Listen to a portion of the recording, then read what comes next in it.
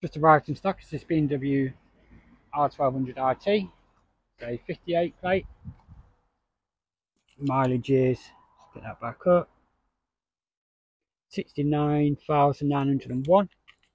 Just a walk around video just to show you around the bike. It's yet have a valet. To show you any extras on it and the general condition. Start off with the screen. It has been raining a bit so that's all what the water is on there. Got aftermarket GP motor brake screen. Bit of a tint on there. All the headlights nice. Again, just need a valet. Front wheels in good condition. As is all the side fairings. You've also got the spotlights on there. Crash protection's good, along with all the engine casing. All the panels to the right are nice. Just also have the full BMW luggage, just have the odd mark places.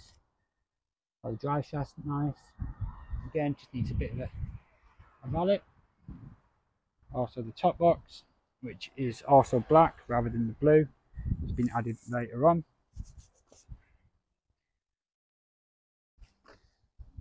So it's in good condition. Everything to the left. Also, you a spotlight. All the rear seats nice, as is the main seat. Of course, we've got a Givi tank bag on there. And the tank's nice. This is all around the dash. There will be another video and another set of photos once it's had a valet. If you'd like to know anything else in the meantime, it's at Ryder Motorcycles Castle Road, Sittingbourne.